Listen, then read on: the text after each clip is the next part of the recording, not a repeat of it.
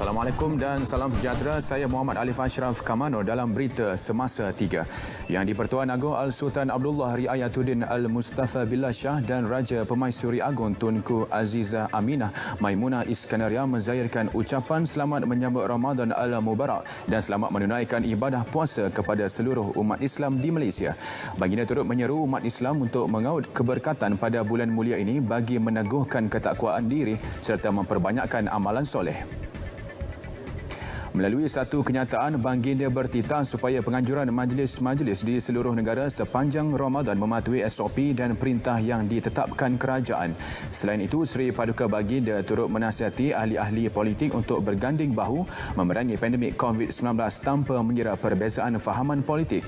Seluruh umat Islam diseru untuk mengambil keberkatan Ramadan serta berdoa agar negara terus dilindungi dan wabak COVID-19 dapat dibendung serta diakhiri dengan segera.